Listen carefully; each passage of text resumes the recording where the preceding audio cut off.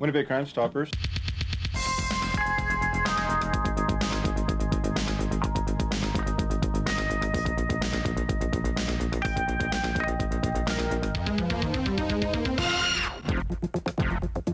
Between April 2nd and April 3rd, 1999, a downtown art studio was broken into.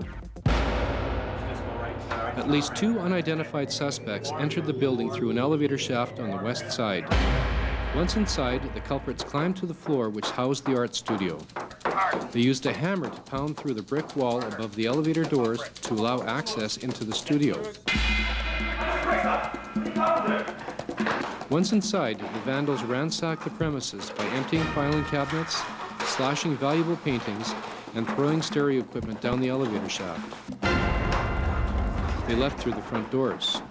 Approximately $200 in cash was stolen, but over $40,000 in damage done. Six paintings with a value exceeding $7,000 each were destroyed. Crime Stoppers will pay up to $2,000 in cash for information leading to the solution of this crime. If you have information on this or any other unsolved crime in Winnipeg, call Winnipeg Crime Stoppers at 786-TIPS. That's 786-8477. Callers never have to reveal their identities. Crime Stoppers pays cash for information on any unsolved crime.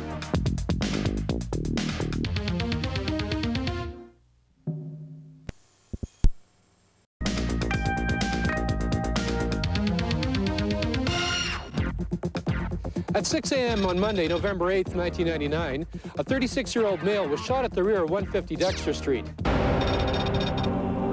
victim, who was leaving for work, walked to his vehicle parked at the back of the house.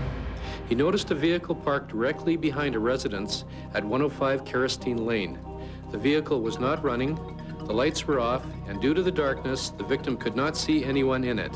The victim got into his vehicle and noticed a male get out of the parked car. This male, who was carrying a gun, ran towards the victim's vehicle, stopped at the driver's side door, and pointed a shotgun at him. He then fired one shot from point-blank range. The blast shattered the window and struck the victim on the left side of his face. The suspect is described as a male of unknown race, 5 foot 7 inches, 160 pounds, with black hair that covered his ears. He was wearing dark brown sunglasses. The vehicle can only be described as small and dark in color. If you have information on this or any other unsolved crime in Winnipeg, call Winnipeg Crime Stoppers at 786-TIPS. That's 786-8477. Callers never have to reveal their identities. Crime Stoppers pays cash for information on any unsolved crime.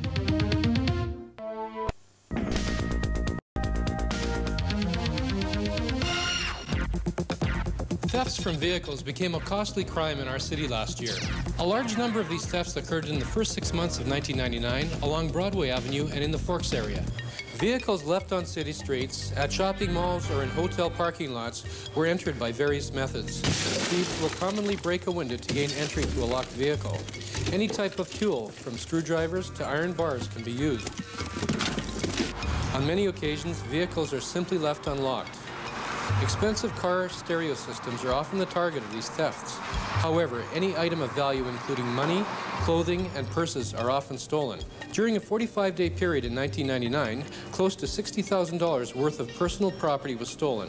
A further $30,000 in damage was caused by thieves breaking into vehicles. These crimes discourage citizens from visiting our downtown area. The damage and property loss also leads to higher insurance costs for all motorists. If you have information on this or any other unsolved crime in Winnipeg, call Winnipeg Crime Stoppers at 786-TIPS. That's 786-8477. Callers never have to reveal their identities. Crime Stoppers pays cash for information on any unsolved crime. Go to work. He survived the shooting but had to undergo several reconstructive surgeries. Yesterday, police announced they have arrested the shooting suspect. Now the people living in Sarai's former home are no longer worried about a repeat attack. I've always been worried he was going to come back and think the man was still living there. And every time I'd get out of my car, I'd always get this creepy feeling. 50-year-old Andreas Nicholas Virginis is in police custody. He's charged with attempted murder. Police are